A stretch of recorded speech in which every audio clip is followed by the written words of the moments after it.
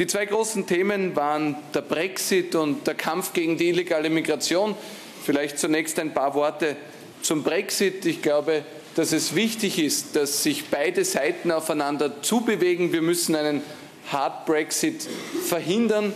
Es hat äh, gute Gespräche hier informeller Natur gegeben.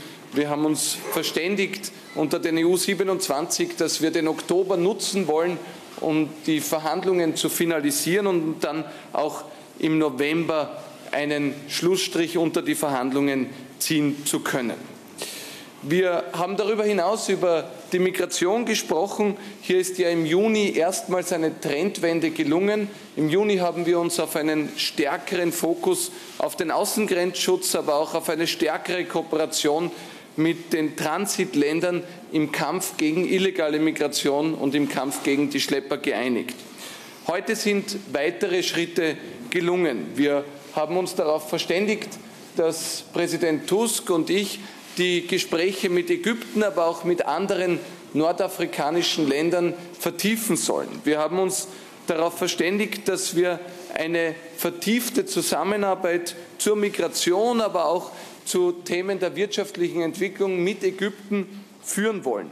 Ägypten setzt nicht auf Flüchtlingszentren, ist aber sehr effizient im Kampf gegen illegale Migration. In den letzten beiden Jahren hat kein Schiff mehr illegal Ägypten in Richtung Europa verlassen. Und wenn Schiffe versucht haben, nach Europa illegal aufzubrechen, dann sind sie nach Ägypten zurückgestellt worden.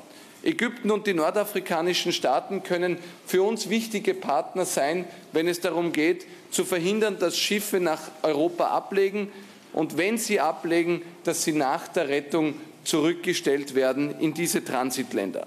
Nur so können wir die illegale Migration reduzieren, das Geschäftsmodell der Schlepper zerstören und vor allem auch das Ertrinken im Mittelmeer beenden. Die Verteilung von Flüchtlingen innerhalb Europas, die in den Medien immer das große Thema ist, war, um ehrlich zu sein, in der Sitzung nur ein Randthema. Ähm, wir haben als Präsidentschaft die Pflicht, alle Themen zu behandeln, die von den Mitgliedstaaten behandelt werden sollen.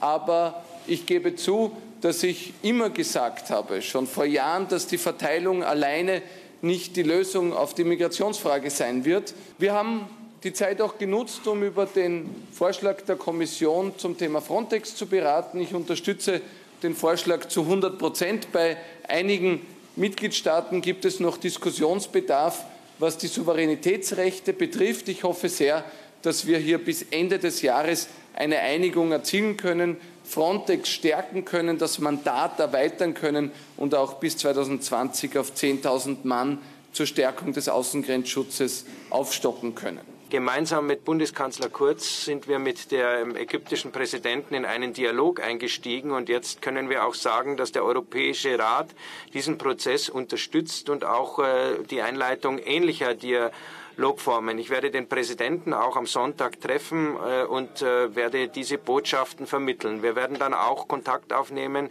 in den kommenden Wochen mit weiteren afrikanischen Partnern, gemeinsam mit Bundeskanzler Kurz, mit der Kommission, aber auch mit einer Gruppe von anderen Ländern werden diese Kontakte hergestellt, also mit, will heißen mit anderen Mitgliedstaaten.